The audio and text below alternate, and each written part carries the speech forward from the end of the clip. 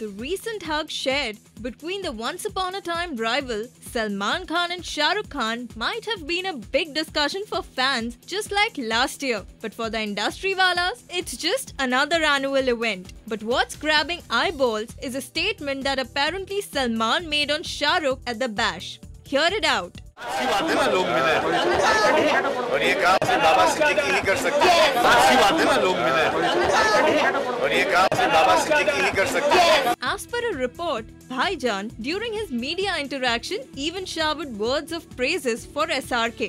I met Shahrukh today. He's a good guy. I like him. I've always liked him.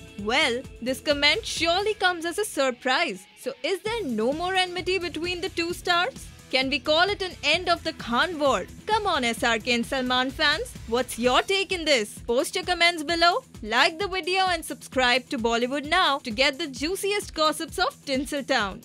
Hi, this is Madhuri Dixit. Subscribe to Bollywood Now.